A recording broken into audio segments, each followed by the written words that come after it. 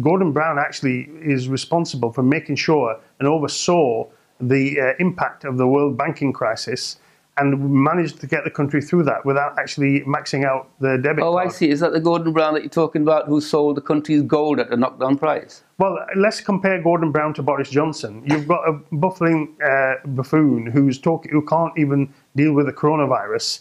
He can't uh, grasp detail, and the country is going to the dogs.